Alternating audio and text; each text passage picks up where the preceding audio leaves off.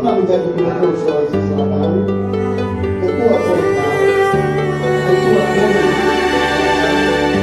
ketua Polri,